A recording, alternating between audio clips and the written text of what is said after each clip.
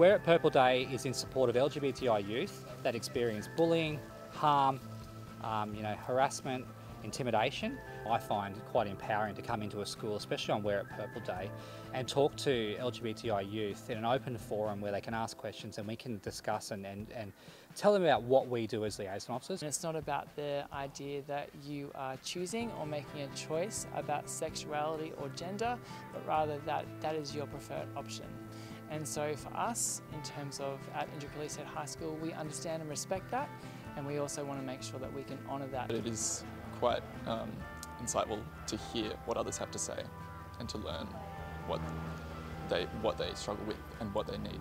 Our community's diversity is what makes us special. The fact that we can be together and different at the same time illustrates that sense of acceptance. And wearing purple to support a group in our community is just one way to express that. It, it breaks down those barriers and we can have those, those open communications and, and showcase what we have done, um, not only as an LGBTI liaison officer, but in support of our LGBTI support network within the Queensland Police Service. I came here knowing barely anything and I left knowing a lot. I didn't know we had this much support and it's really it's really good to know that we can just approach any police officer if we feel that we have to or that we need to.